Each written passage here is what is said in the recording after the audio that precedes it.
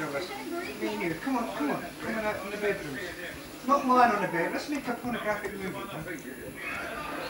I filmed that. Well, she's not. I've seen her in things before. There was something about- No, no. I'm quite natural actually in front of the camera. Psycho.